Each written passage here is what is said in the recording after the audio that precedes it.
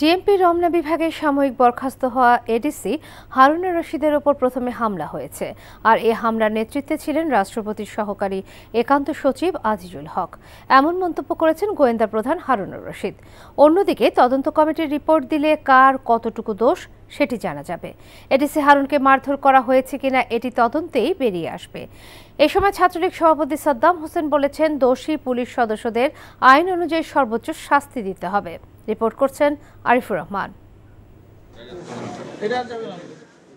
সম্প্রতি এডিসি হারুনের নেতৃত্বে হামলায় আহত হয়ে চিকিৎসাধীন ছাত্রলীগের সাংগঠনিক সম্পাদক আনোয়ার হোসেন নাইমকে দেখতে যান ডিএমপি কমিশনার। এ সময় তিনি নাইমের চিকিৎসার বিষয়ে খোঁজ খবর নেন। তদন্ত কমিটির কাজ শেষ হওয়ার পূর্বেই আমরা প্রাথমিকভাবে যে দুজন অফিসারকে আইডেন্টিফাই করতে পেরেছি। তাদের বিরুদ্ধে ব্যবস্থা নেওয়া হয়েছে। এখন তদন্ত কমিটি রিপোর্ট পাওয়ার পরে আমরা তাদের বিরুদ্ধে বিভাগীয় ব্যবস্থা সহ অন্যান্য যে ব্যবস্থাগুলো আছে সেগুলো গ্রহণ করব। এই মুহূর্তে কার কতটুকু দোষ কে এখানে গিয়েছে না গিয়েছে এটা তো বলা যাচ্ছে না।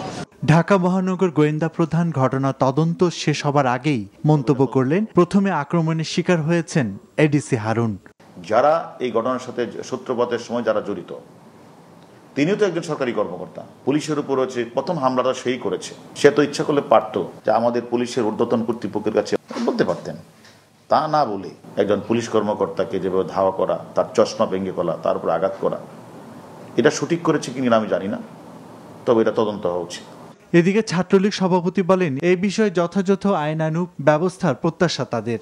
তদন্ত কমিটির রিপোর্টের আলোকে বিভাগীয় যে বিধি- বিধিবিধানগুলো রয়েছে, আইন শৃঙ্খলা রক্ষাকারী বাহিনীর প্রবিধান অনুযায়ী, সে অনুযায়ী তার ব্যবস্থা গ্রহণ করবে বলে আমি বিশ্বাস করি। রাষ্ট্রপতির এপিএস আজিজুল হকের সঙ্গে বরখাস্ত এডিসি হারুনের ব্যক্তিগত বিষয় নিয়ে দ্বন্দ্বের জেরে গত শনিবার ছাত্রলীগের তিন নেতাকে মারধর করা হয়। ভুক্তভোগীদের অভিযোগ শাহবাগ থানায় এই মারধরের নেতৃত্ব দেন এডিসি হারুন। এই ঘটনায় গতকাল স্বরাষ্ট্র মন্ত্রণালয় তাকে সাময়িক বরখাস্ত করে পুলিশ অধিদপ্তরে সংযুক্ত করে। এই ঘটনায় শাহবাগ থানার পরিদর্শক গোলাম মোস্তফাকেও দায়িত্ব থেকে সরিয়ে নেওয়া হয়েছে।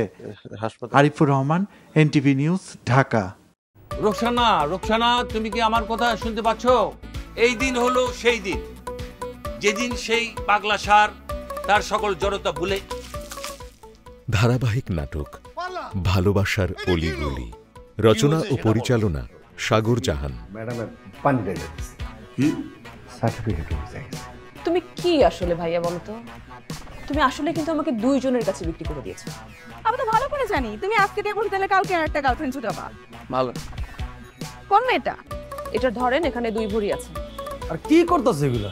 এটা বিক্রি করলে আপনি দেড় লাখ টাকা হলে অন্তত পাবেন। দেখেন আমি যা কিছু করছি তোরা ভালোবাসে করছি। আরে আমি কি টাকা নেওয়ার জন্য এগুলো করছি নাকি? আপনি কি জন্য কি করেছেন সেটা শুধু আপনিই জানেন শহীদ ভাই। আমরা এখন একটা মজার খেলা খেলব।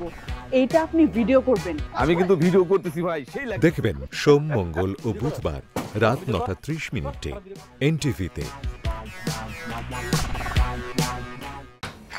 এখন বিকাশ পাবেন দেশের প্রথম ডিজিটাল লোন